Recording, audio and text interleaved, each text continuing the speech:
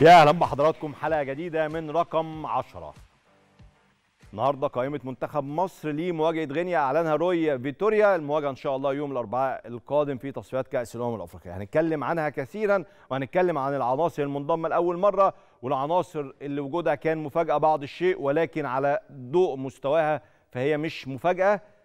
بس قبل ما أخش في تفاصيل قائمة منتخب مصر هناك حدث جلل.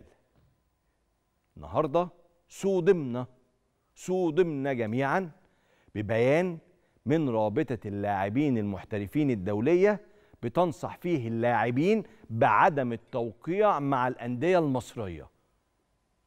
صادمة. حاجة صادمة.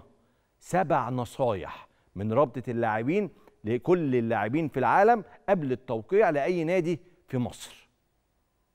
حاجة تزعل. حاجة تضايق. بين قوسين كده حاجة مش حلوة. يعني أنا قلت ما لقيتش اللفظ المناسب والله بس هي حاجة مش حلوة. حاجة عيب حاجة تزعل. خد بالك أنا هعرض لك كل اللي حصل دلوقتي. رابطة المحترفين الدولية قالت إيه رابطة الأندية المصرية قالت إيه اتحاد الكره المصري رد قال إيه. هعرض لك كل شيء. بس قبل ما أعرض لك كل شيء هو اللي حصل ده غريب مفاجئ. قال يعني إحنا ما بنخشش في نزاعات كتير؟ ده إحنا أكتر قضايا في الفيفا أعتقد جاية من الكرة المصرية. أصل اللاعب ده رافع قضية على نادي أصل النادي ده رافع قضية على نادي تاني أصل المدرب دوت عايز مستحقاته أصل مش عارف إيه. عندنا قضايا بالهبل. هتيجي تقول لي أصل لا في ظلم النهارده من رابطة المحترفين الدولية ديت وبيظلمونا. ممكن يكون في بعض التجني أو المبالغات بس في كثير من الحاجات اللي هم قايلينها النهارده مش هنتدارى مش هنتكسف أو نتكسف لا نتكسف. يا ريت نتكسف أصلا بس مش هنكذب. موضوع حقيقي للأسف يعني. تعال أقول لك الحكاية. رابطة المحترفين الدولية قالت إيه النهارده؟ وبعد كده أقول لك اتحاد الكرة قال إيه؟ ورابطة الأندية المصرية قالت إيه؟ تعال نشوف. عشان تفهم بس معايا الحكاية عاملة إزاي. بص يا سيدي. وجهت رابطة اللاعبين المحترفين الدولية سبع نصائح للاعبين قبل التوقيع مع أي نادي في مصر بعد ارتفاع النزاعات فيما يتعلق بمسائل عدم دفع الرواتب والسلوك التعسفي مثل مصادرة جوازات السفر. بص يا سيدي. أول حاجة أول حاجة رابطة المحترفين الدولية قالتها للاعبين اللي رايحين يوقعوا لأندية مصرية.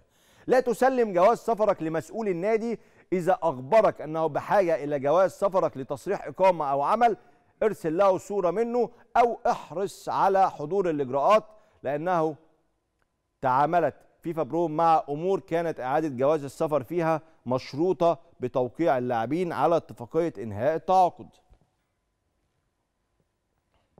اتنين لا توقع عقدا فارغا بغض النظر عما يخبرك به النادي. كان هناك العديد من الحالات التي يوقع فيها النادي واللاعب عقدا واحدا يحتوي على جميع التفاصيل ثم يطلب من اللاعب التوقيع على عدد من العقود الفارغة مع النادي. وبعد كده بيتم إعادة ملؤها لاحقا. احتفظ بنسخة أصلية موقعة من العقد لا تسقط لا تسقط في هذا الفخ حيث يجب أن تتم الموافقة على جميع النسخ من قبل الاتحاد. احتفظ دائما بنسخة واحدة تحتوي على توقيعاتك وتوقيعات النادي. يا نهار أبيض. قبل توقيع العقد تأكد من إصلاح العملة الصحيحة حتى لا يتمكن النادي من تغيير العملة. إذا تركت العملة مفتوحة عند توقيع العقد يمكن للنادي الاستفادة من ذلك. يعني تحط مثلا هو بالدولار هنخليها لك بالجنيه والحاجات اللي أنتوا عارفينها. خمسة كن حذرا للغاية عند التعامل مع الوكلاء والنادي إذا لم تكن لديك علاقة موثوقة طويلة الأمد مع الوكيل وأصبحوا وكيلك فقط في سياق مناقشات التوظيف مع النادي في مصر فمن النادر أن يتصرفوا بصدق في مصلحتك ويفضلون الحفاظ على العلاقة مع النادي. يعني الوكيل اللي معاك هيبيعك. ستة. تأكد من أنه يمكنك طلب الإنصاف قبل قبل رابطة المحترفين حيث لا تلتزم هيئات اتخاذ القرار الرياضي في مصر بالمتطلبات الأساسية للنزاهة والاستقلالية ولا تضمن ولا تضمن عدالة الإجراءات. سبعة آخر حاجة كن على علم بأنه لا تمتلك جميع الأندية في مصر حساب فيفا TMS الخاص بها وبالتالي يمكن لأي نادي طلب شهادة الانتقال الدولية عبر نادي آخر. حاجة تزعل جدا. هي الأزمة فين؟ الأزمة إن إحنا عارفين المشاكل دي ومتكررة وكل واحد بيبص يقول لك إيه؟ ما هو النادي الفلاني هو اللي متضرر. يعني لما يروح لاعب يروح يشتكي وياخد فلوس وياخد غرامات ما هو النادي ده اللي متضرر. لا يا جماعة مش النادي المتضرر. إحنا بنقول الكلام ده من زمان.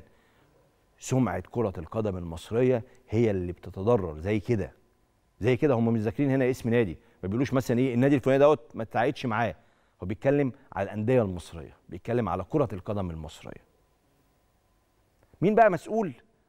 أنا في رأيي لا هي الرابطة الحالية ولا اتحاد الكرة الحالي ولا ولا الناس اللي بتشتغل في العمل عمل الرياضي أو كرة القدم في مصر في الوقت الحالي لوحدهم يعني مش مش بعفيهم من المسؤولية.